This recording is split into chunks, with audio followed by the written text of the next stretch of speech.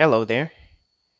Uh, in this video, I'm doing part two of a logical fallacy called the bandwagon, or it is also known as the appeal to popularity, which is a part of my video series called A Trip Through Logical Fallacies.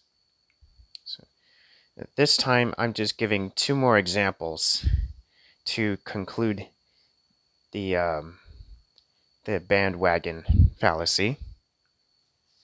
Right. Okay. Number one. Here here's uh, example example number one. Parenthood is the best lifestyle in my opinion because many people believe so.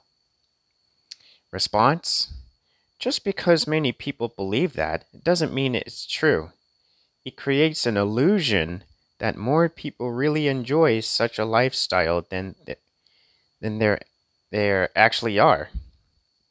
Especially on social media, right? So that's an an example response to this logical fallacy that I just brought up. Number 2.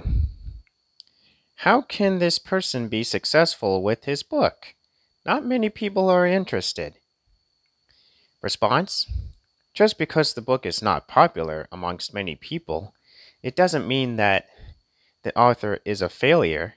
Some people like his book and consider him to be a successful author because of the amount of work he put forth to get it published, although they provide him feedback to help him improve his writing style. Well, that's all I have for that's all I have for tonight where I am.